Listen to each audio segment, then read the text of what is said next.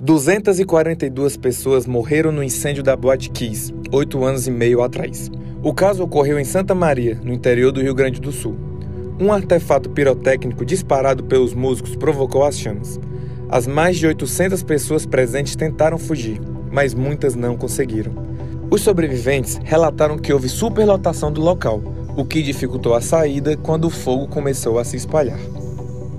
Quatro pessoas são acusadas pela tragédia e serão julgadas a partir desta quarta-feira. As sessões iniciarão todos os dias às 9 horas, em Porto Alegre.